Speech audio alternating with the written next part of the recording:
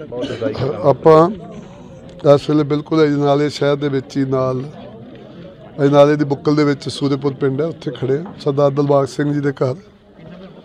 ਉਹਨਾਂ ਦਾ 23 ਸਾਲ ਦਾ ਬੇਟਾ ਅਮਰੀਕਾ ਦੇ ਵਿੱਚ ਕੱਲ ਐਕਸੀਡੈਂਟ ਹੋ ਗਿਆ ਉਹਦਾ 23 ਸਾਲ ਦਾ ਸੀਗਾ।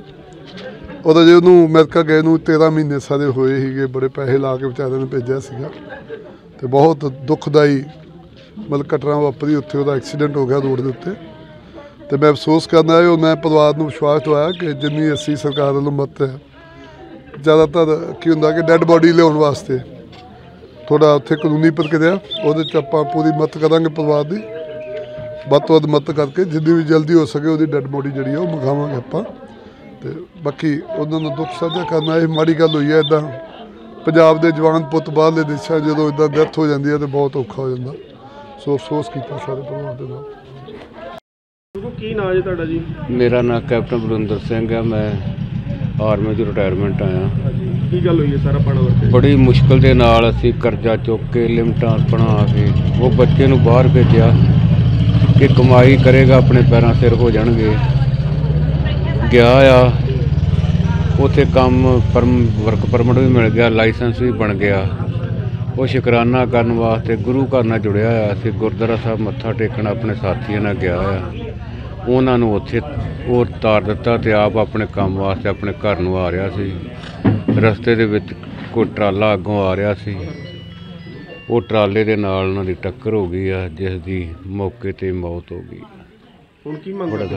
ਹੁਣ ਸਾਡੀ ਇਹੋ ਹੀ ਮੰਗ ਹੈ ਇਹੋ ਹੀ ਬੇਨਤੀ ਤੇ ਤਰਲਾ ਹੈ ਸਾਰੇ ਪਰਿਵਾਰ ਦਾ ਕਿ ਸਾਡਾ ਬੱਚਾ ਦੀ ਲਾਸ਼ ਸਾਡੇ ਪਿੰਡ ਇਮਰਾਹੀਮਪੁਰਾ ਤਹਿਸੀਲ ਅਜਨਾਲਾ ਵਿਖੇ ਇੱਥੇ ਭੇਜ ਦੇ ਅਸੀਂ ਉਹਦਾ ਉਹਦੀ ਜੰਮਣ ਭੂਮੀ ਦੇ ਵਿੱਚ ਸੰਸਕਾਰ ਕਰ ਸਕੀਏ ਅੰਤਮ ਦਰਸ਼ਨ ਕਰ ਲਈਏ ਤਾਂ ਕਿ ਸਾਨੂੰ ਕੋਈ ਤਰਵਾਸ ਹੋ ਜਾਵੇ ਅਸੀਂ ਉਹੀ ਬੇਨਤੀ ਕਰਦੇ ਹਾਂ ਸਾਡੀ ਇਹੋ ਹੀ ਮੰਗ ਹੈ।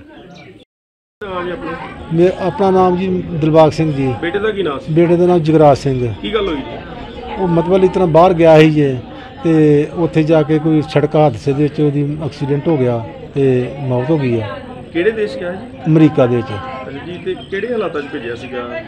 ਆਪਣਾ ਹਾਲਾਤਾਂ ਇਸ ਤਰ੍ਹਾਂ ਹੀ ਮਤਲਬ ਕਰਜ਼ਾ ਕੁਰਜ਼ਾ ਚੁੱਕ ਕੇ ਮਤਲਬ ਭੇਜਿਆ ਉਹਦੇ ਵੀ ਚਲੋ ਆਪਣੀ ਕੋਈ ਘਰ ਦੀ ਜਿਹੜੀ ਹਾਲਤ ਹੈ ਠੀਕ ਹੋ ਜਾਏਗੀ ਥੋੜੀ ਜਿਹੀ। ਤੇ ਉੱਥੇ ਜਾ ਕੇ ਆ ਭਾਣਾ ਵਾਪਰ ਵਾਪਰ ਗਿਆ।